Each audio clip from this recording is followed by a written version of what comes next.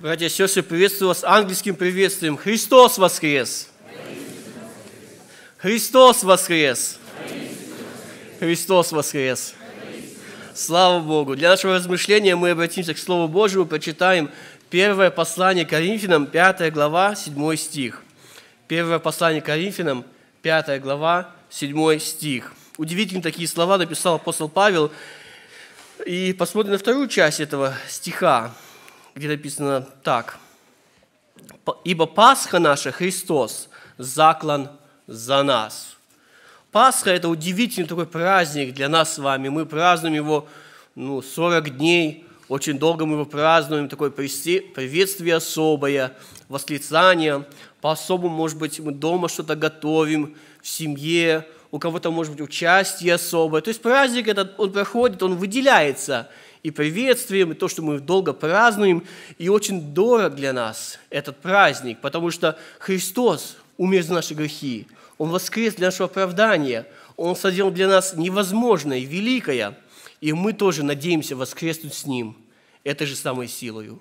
Слава Богу за Его воскресение. И хотелось бы, смотря на эти, читая этот, этот текст, мы понимаем, что когда апостол Павел писал о Пасхе, он не писал о нашей Пасхе с вами, он не писал о этом приветствии, он не писал о вот, приходить на собрание вот, в 7 утра или в 8 утра, так рано, вот на рассвете. Он писал именно о еврейской Пасхе. Если кто читает английскую Библию, они понимают, что есть Easter Sunday, это Пасха, когда Христос воскрес, а есть еврейская Пасха, и слово это Passover. И само слово Пасха значит, что пройду мимо – это та ночь, когда евреи были в Египте, и Бог, по 12 главе Исход мы читаем, что Бог послал ангела-губителя, который умертвил всех первенцев в Египте, а евреев пощадил. И тех, кто совершили Пасху, он их пощадил и прошел мимо. И потому этот праздник для евреев, он более особый, он более дорог для них, они более ценят им, они э, празднуют его по-особому. Это целый месяц. Это они, там есть разные э, вещи, что они должны были делать для него. И э, апостол Павел берет, связывает Пасху еврейскую с Христом. И говорит, Пасха наша, Христос, закланы за нас. И мы с вами посмотрим на эти вот э, некоторые тайны, которые сокрыты в этом стихе, сокрыты в этой истине, что Иисус Христос является нашей Пасхой. И э, обратим внимание на последствия Пасхи, то есть к чему, что дала Пасха израильскому народу, что она им, что последствия ее, то есть э, что, что сделано для них. Она для них сделала очень многое. Первое, что мы посмотрим, это, что Пасха Израиль вывела из-под власти фараона под власть Божью. Когда Израиль находился в Египте, то фараон, будучи правителем, царем, он действительно имел власть над ними. Он их мог заставить работать, он им давал пропитание, он мог их кормить, он им давал защиту, оборону, он как бы их дела судил. И даже если мы читаем, мы видим, что даже он их семейные вопросы решал он дал повивальным бабкам повеление убивать мальчиков, маленьких евреев, которые рождались. И когда это не получалось, то он дал повеление, чтобы народ израильский детей кидал в реку Нил. То есть э, он имел сильную власть. И там, там не написано в Библии, но я уверен, что там очень грозо, э, было наказание свирепое для тех, кто это не делает. И люди боялись, боялись власть, боялись фараона, боялись выйти. Они так свободно пришли в Израиль, то есть в Египет, а боялись выйти из него. Они знали, что просто так их не отпустят, потому что фараон имел власть над ними. И вот мы, когда мы вот смотрим, вот, что если мы посмотрим на Иисуса Христа, что Иисус Христос дает нам? Он дает нам силу выйти из-под власти сатаны, под власти мироправителя мира сего – и стать под власть Божию. Мы читаем Деяния апостолов, 26 глава, с 15 стиха.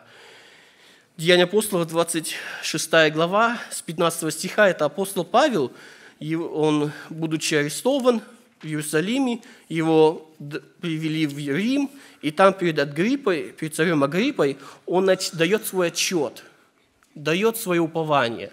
И он говорит такие удивительные слова. Он говорит э, свое свидетельство, как он уверовал и к чему его призвал Бог. Он говорит, что я, я сказал, кто ты, Господи? Он сказал, я Иисус, которого ты гонишь.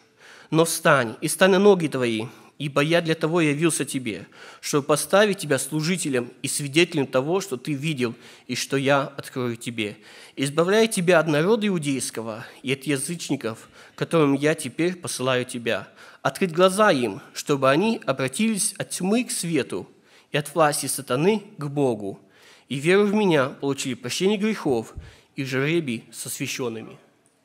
Здесь апостол Павел говорит, что вот к чему он призван? Чтобы благовествовать о Иисусе Христе, который освобождает от власти мира сего, от власти сатаны, который здесь, в этом, здесь на земле имеет сильную власть над нами.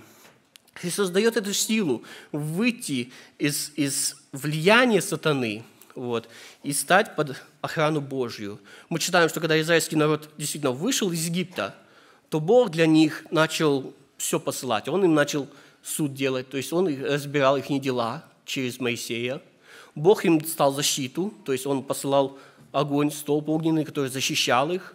Бог их кормил, раньше их фараон кормил, Бог их кормил.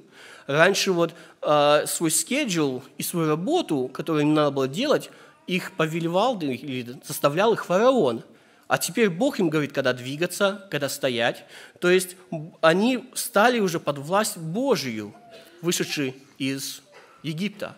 И мы с вами, когда мы понимаем, что Иисус Христос наша Пасха, мы должны понимать, что мы должны освободиться от власти, которую мир имеет на нас, и стать под власть Божью. И тогда мы можем исполнить эту Пасху, которая есть Христос наш. Второе, что Пасха дала евреям, это Израилю, это перевела их от, от смерти в жизнь. Само слово именно Пасха, как, как уже говорилось, что оно имеет, что я пройду мимо, то есть пройти мимо. И мы понимаем, что ангел-губитель, он шел и умышлял всех первенцев в Египте. И Бог повелел Израилю помазать косяки дверей и перекладины дверей кровью ангца для ангела-губителя, чтобы он прошел мимо – и эта кровь, она защитила евреев или Израиль от ангела-губителя. Э, и понимаем, что это, эм, э, э, эта Пасха, она, если, когда, как мы раньше смотрели, что когда фараон сделал повеление, чтобы мы всех мальчиков евреев, то он этим хотел всю будущность еврейского народа прекратить.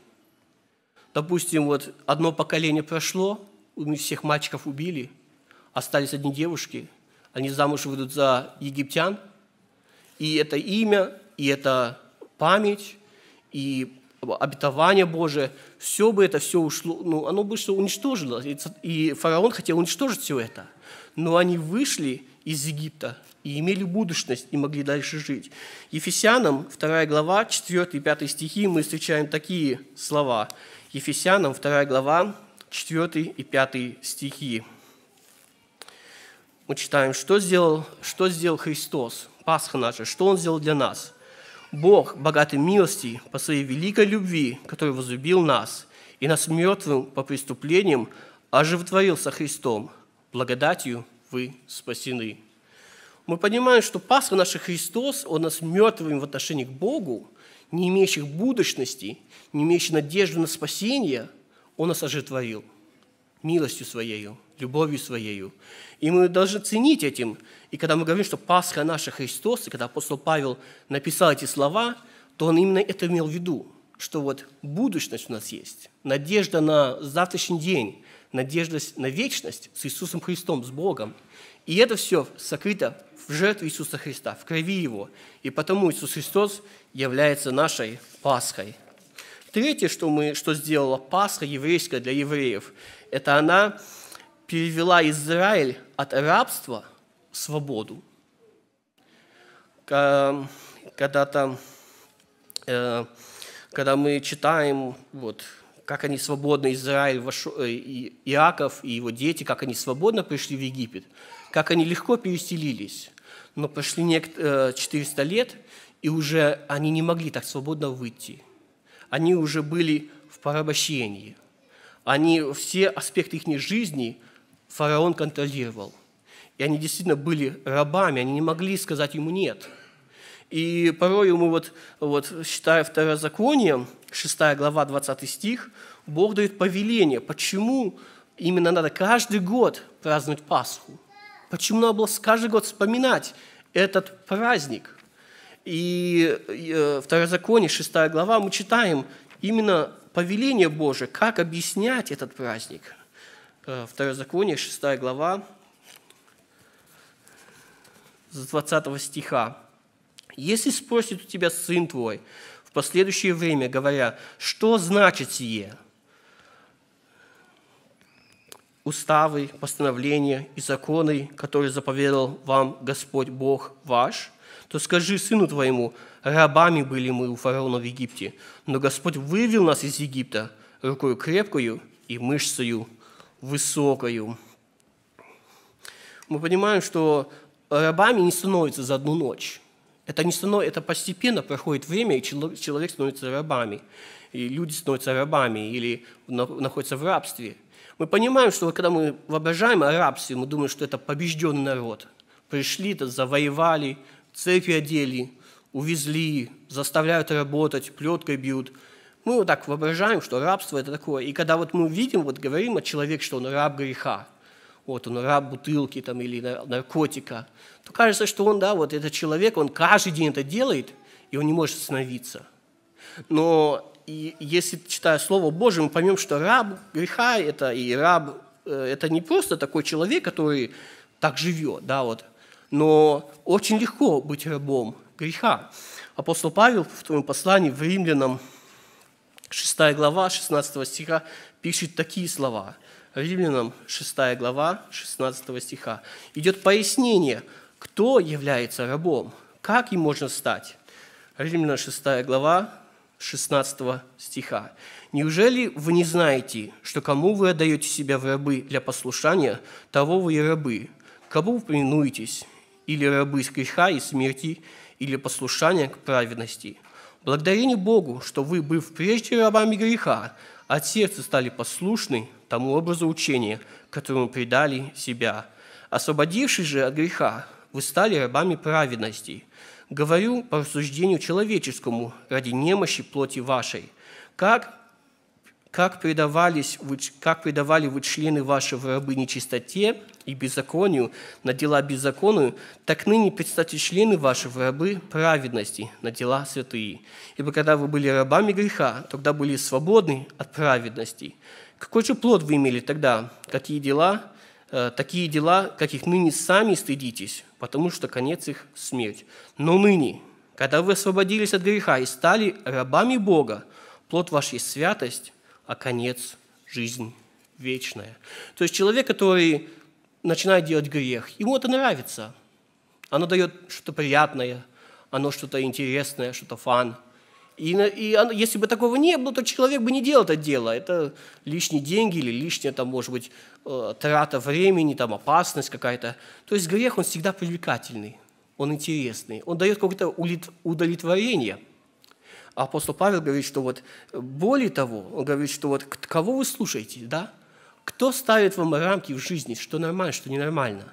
Вот если забор есть, и там опасность, как близко вы идете к этому забору?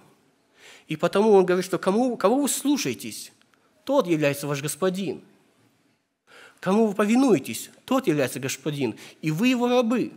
То есть э, он призывает народ, э, апостол Павел призывает здесь, и говорит, что вот задумайтесь, да, вот, кого вы слушаетесь. Это не всегда, что вы найдете раба там, вот, там в оковах или там на свалке, или полностью вот, пропитым. Вот. Но раб – это человек, который слушается сатану, он не слушает Бога. Этот человек является рабом греха. Нету этого нейтрального отношения между Богом и сатаною, и потому в нашей жизни не может быть отношение к Богу и к сатане нейтральное. Либо мы одному служим, либо другому служим. Либо одного любим, либо другое любим. И это очень важно учесть в нашей жизни. И когда мы говорим, что Христос – Пасха наша, важно проверить свое сердце, да, вот действительно, послушны ли мы Богу. Если мы послушны Богу, то Иисус Христос является нашей Пасхой, то мы повинуемся Ему, охотно слушаем Его, и тогда мы действительно можем прославить Его жизнью своей. Далее, читая, э, э, далее, что четвертое, что Пасха еврейская дала для израильтян, для евреев, это переход от старых, старого образа жизни в новый образ жизни. Когда мы смотрим на 12 главу книги «Исход», то мы видим, что Бог дает им новый праздник, которого у них до этого не было. Он говорит, вот Пасха, вот как вы будете праздновать, и вы должны это передавать с поколения в поколение – он говорит, вот у вас, у вас будет новый календарь. Я вам даю новый календарь. Вот с этого, с этого месяца у вас будет начинаться год. И месяцем он будет первым у вас между месяцами года. Мы читаем первые два стиха 12 главы Исход. Что Бог дает повеление, что вот, вот вам новый календарь, вот вам новый праздник. И кроме этого календаря, Бог им очень много что дает. Эти 10 заповедей, которые Бог им дает – пустыне Синайской. Бог им дает э, новых, новый образ жизни. Он им делает новый скеджул. Им не надо уже больше работать на фараона, но он им дает, что вы должны так исполнять, то исполнять. Вы должны пойти утром собирать ману, потом вы должны то делать, потом вы должны продвигаться. То есть Бог начинает э, давать народу израильскому новый образ жизни. И они должны учиться этому образу жизни, прежде чем войти в обетованную землю. Мы с вами читаем второе послание Коринфянам, 5 глава, 17 стих. Второе послание Коринфянам, 5 глава, 17 стих.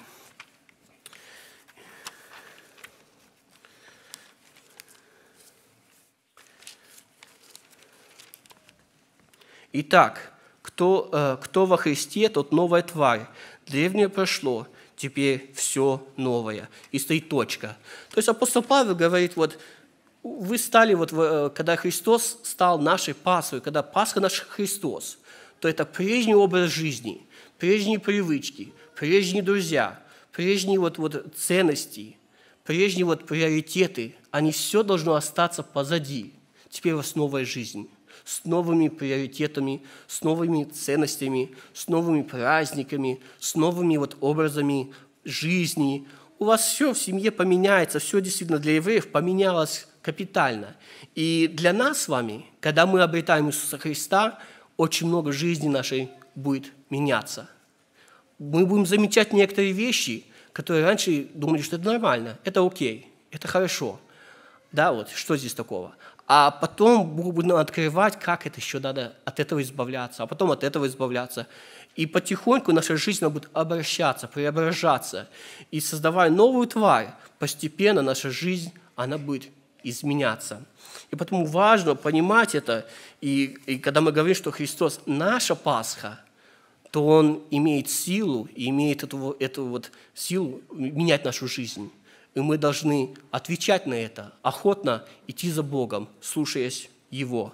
Пятое, что Пасха э, дала Израилю, это переход от нищеты в богатство. Исход, 12 глава, мы читаем, что когда призвал на утро фараон Моисея и сказал, вот выходите, берите детей ваших, скот ваших, старичков ваших, детей, все, уходите. И когда вот они узнали об этом, то израильтяне начали просить соседей вещи некоторые да, на, на, на путь. И э, мы читаем 12 глава, 35-36 стихи, исход 12, 35-36. «И сделали сыны Израилева по слову Моисея, и просили у египтян вещей, серебряных и вещей золотых и одежд, Господь же дал милость народу своему и в глазах египтян, и они давали ему, и обобрали он, и обобрал он египтян.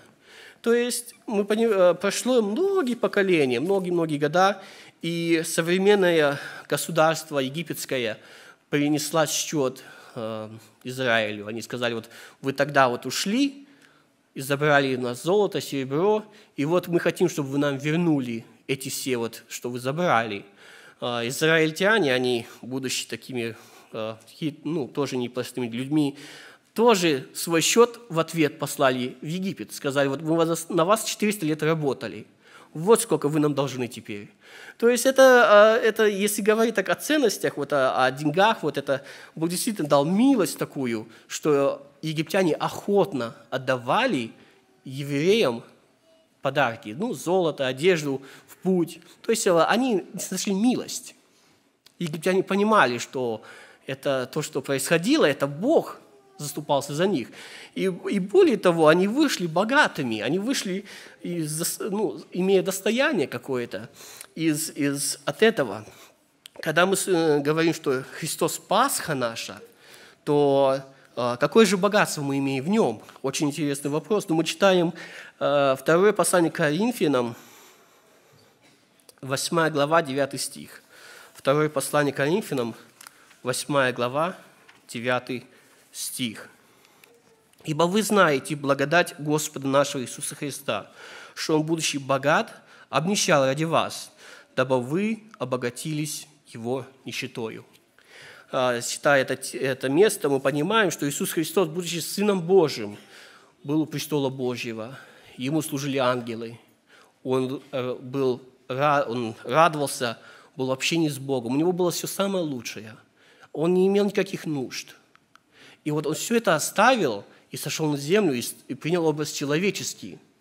И для чего он это сделал? Чтобы, а, ну, для чего он это сделал? Вопрос. Это чтобы для нас. Он сделал для нас, он взял наше место вместо Варнавы на кресте, вместо моего места, твоего места, он взял наше наказание. И он, имея все, оставил все и стал, ну, ну, все это сделал для нас, чтобы мы обогатились в нем – то ну, читая эти стихи, понимая, что мы были духовный банкрот без Христа, без Бога. А тут обогатились в крови Иисуса Христа.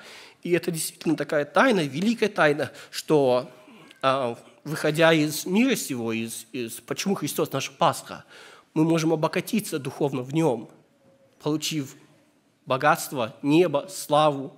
Все это наше, все нас ожидает. И это важно понимать и ценить этим потому что это, это и, и читаете слова, что Христос Пасха наша. Почему Он наша Пасха? Потому что Он нас обогатил своей смертью. А, Пасха наш, поэтому повторим вот эти все пять пунктов, которые мы обошли, а, о том, что Христос Пасха наша, потому что Он избавил нас от власти сатаны, и мы встали под власть Бога. Он избавился от смерти и дал жизнь. Он от рабства дал нам свободу. Он от старого образа жизни дал нам новый образ жизни. И Он от нищеты сделал нас богатыми. И хотелось бы действительно это для каждого из нас, и особенно для тех, кто будет принимать крещение, чтобы это было, эти слова, они действительно, ну, проверьте себя, проверьте свое сердце. Вот есть ли это заметный переход от Египта э, в обетованную землю? Вот. Если это вот перемена в жизни нашей или нет. Мы понимаем, что для еврейского народа, хотя они вышли физически от Египта, вот вышли из него, из-под влияния, из-под власти, но как долго Египет от них выходил. То есть они, он был в их сердцах. И они очень часто вспоминали жизнь в Египте и не могли ее оставить. И хотелось бы, чтобы мы оставились, порвали все наши отношения с этим миром и были близки к Богу. И э, хотелось бы, вот, склонившись на наши колени, помолиться Богу нашему и прославить Его за все Его милости, за то, что Он наша Пасха. Аминь.